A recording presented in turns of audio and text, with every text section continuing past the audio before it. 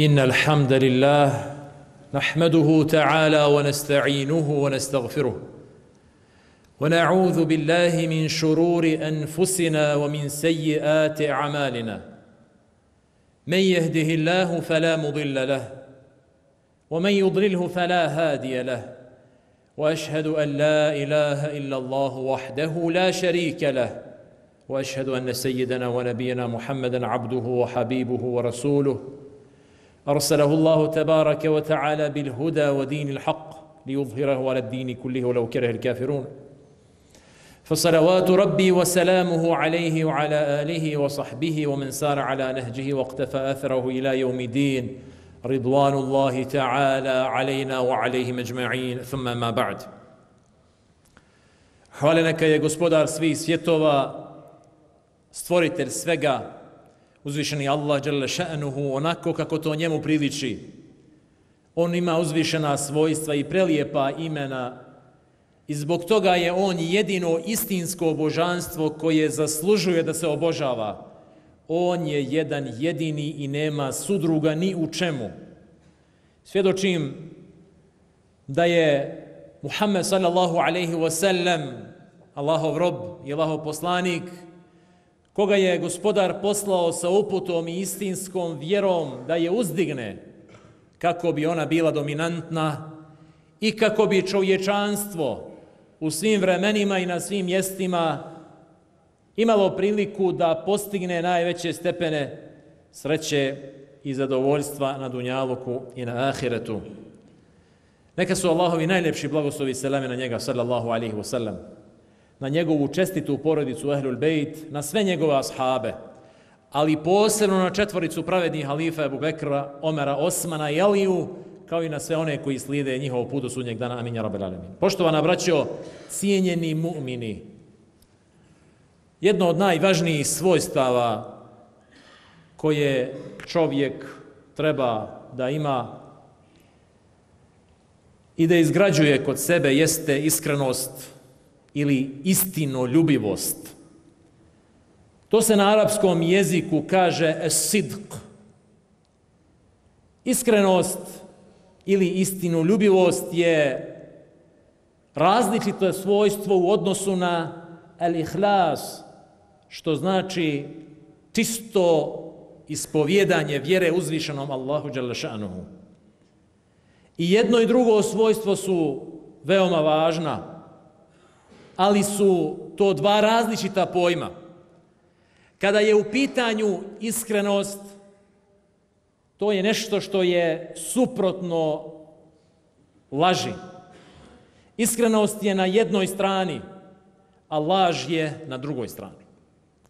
Iskrenost je osobina najboljih ljudi. Onih najčestitijih, onih najvrijednijih, onih najuspješnijih kroz historiju čovječanstva na čelu sa Allahovim poslanicima. Iskrenost je nešto na osnovu čega se odvajaju i razdvajaju i razlikuju oni pravi ljudi, dobri ljudi, od lažova, odnosno munafika. Iskrenost je temelj vjere. Bez iskrenosti nema vjere ili nema kvalitetne vjere. Može postojati pretvaranje u vjeri, može postojati glumljenje vjere, ali prave istinske vjere bez iskrenosti nema. I nema istinskih i pravih vjernika bez iskrenosti. Iskrenost je osobina na osnovu koje će uzvišeni Allah Đalešanuhu odvojiti ljude i na sudnjem danu. Li jeđzije sadiqine bi sidqihim wa ju'adhibe al munafiqine. Kaže uzvišeni Allah Đalešanuhu.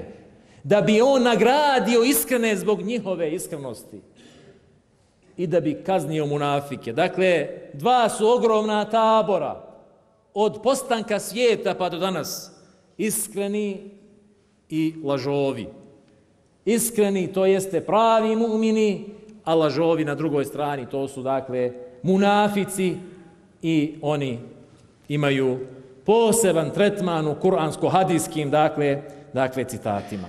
Šta znači to iskrenost? Es Iskrenost je u stvari da čovjek govori, da se ponaša shodno istini i da maksimalno i u potpunosti upotpunjava istinu i da istinu svjedoči svojim riječima i svojim djelima i svojim namjerama i svim svojim i svim svojim ibadetima.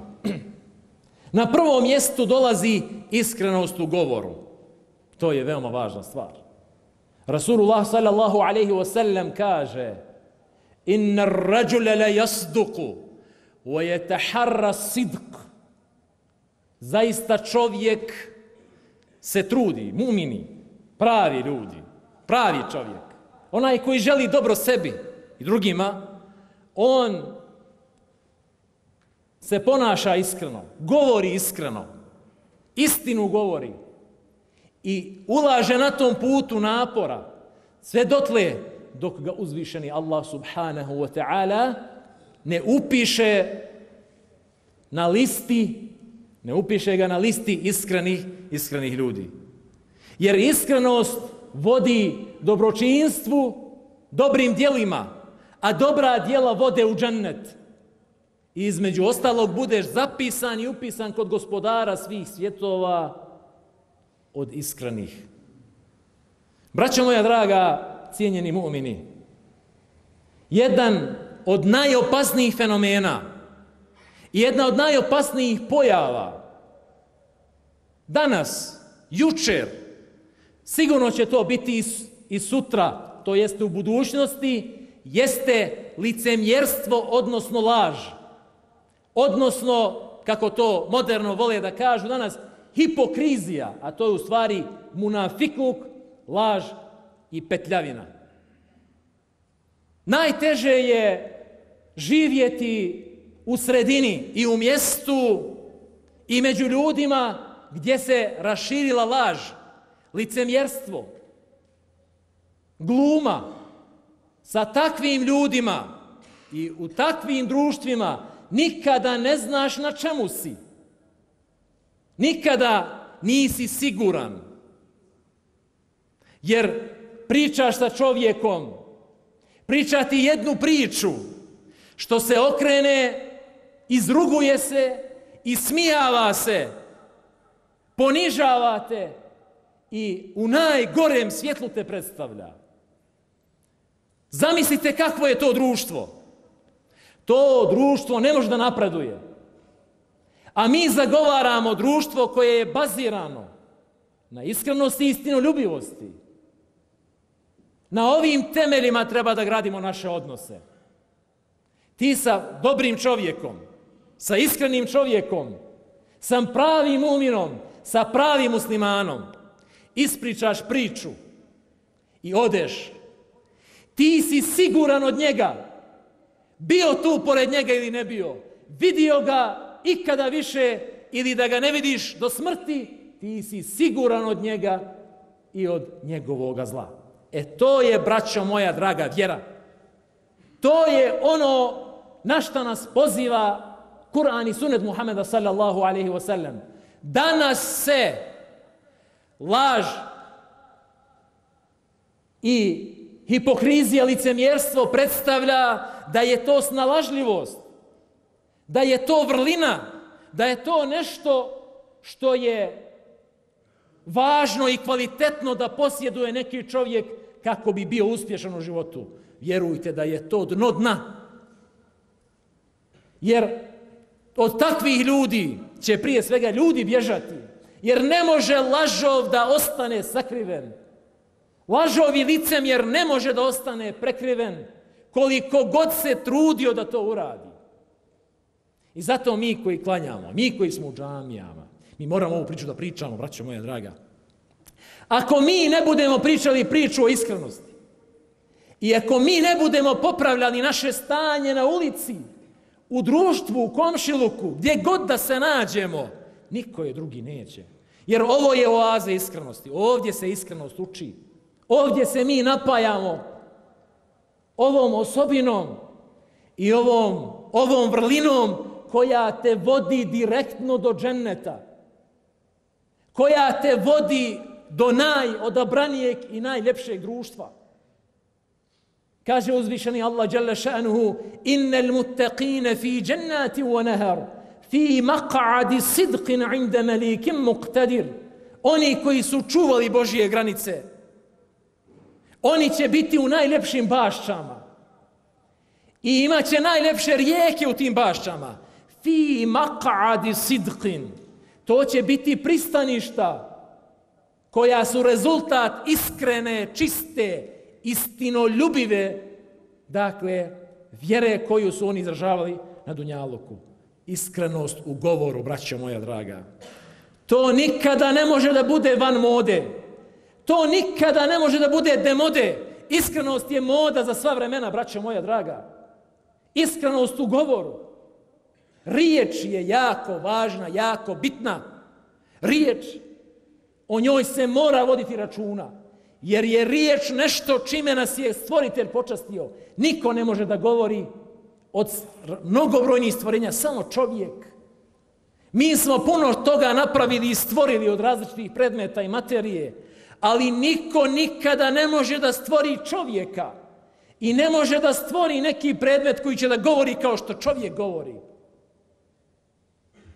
I zato se posebna pažnja posvećuje riječi, riječima i naravno glavnoj bazi, glavnom temelju tih riječi, a to je iskrenost.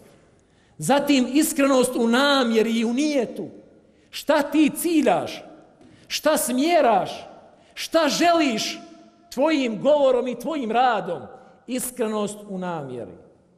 Da želiš dobro, da je pokretaš tvoga rada, tvoga djelovanja i tvoje govora iskrenost. Men kana yuridu dunja wa zinataha, nuwaffi ilajhim a'malahum fiha, wa hum fiha la yubhasun. Onaj ko bude htio, namjeravao i ciljao svojim namjerama samo ovo svjetska dobra, samo ovo svjetska dobra. Dakle, ovo svjetska dobra su mu pokretač. Jedino što može da ga pokrene jeste materializam. Nema nikakvih vrlina, nema nikakve duhovne snage koja ga pokreće. Onaj ko to bude htio svojim namjerama, Allah Žešanu kaže da će imati i da će na ahiretu naravno imati skroz drugačiji status. Dakle, parafraziram i tumačim, tumačim ajet. Jako je važno iskrenost i u namjeri. A zatim također treći stepen iskrenosti jeste iskrenost u održavanju obećanja. Ono što si rekao, ono što si uradio, da budeš iskren i ustrajan u ispunjavanju te date riječi. Uzvišeni Allah Đelešanu nam govori o prvim muslimanima koji su rekli Muhammedu sallallahu alaihi wasallam O Muhammede, dođi kod nas u Medinu. Znate li koga su ugostili? Ugostili su čovjeka koji je bio najtraženiji na zemaljskoj kugli. Svugdje se traži. Potirnica za njim. Ako ga prihvatiš, prihvataš neprijateljstvo cijele zajednice. Na sebe, na svoju familiju, svoju, svoj imetak i tako dalje. To ono kad čitamo u Siriji, mi mislimo to je lahko bilo ugostiti poslanike. Ne, ne, ne, ne, ne. Zato su muhađiri i ensarije važni i bitni. Danas, ako je neko okarakterisan ovako ili onako nepravedno, ne govorim pravedno ako je okarakterisan, ako je zbog dobrih dijela okarakterisan na neki način, ljudi izbjegavaju da se sretnu sa njima, kamo da se fotografišu. Boji se posljedica. A pazite muhađira i ansarija. Bujru Muhammede, ti dođi kod nas. Mi ćemo te štititi i braniti kao što smo štitili, što štitimo i branimo našu djecu. I naše familije. I onda kada je ta riješ došla na ispit, nije to samo reći, nego onda dolaze ispiti na kojima polažeš ili padaš. Došlo su ispiti, došao je Bedr, došao je Uhud, pa su ti ljudi ispoštovali svoju datu riječ. Iskreno su bili u svom većanju. min al mu'minina rijalun sadaqu ma ahadu Allah alayhi.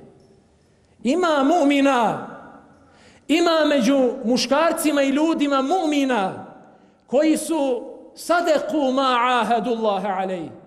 Iskreni bili u onome što su Allahu zavjet dali.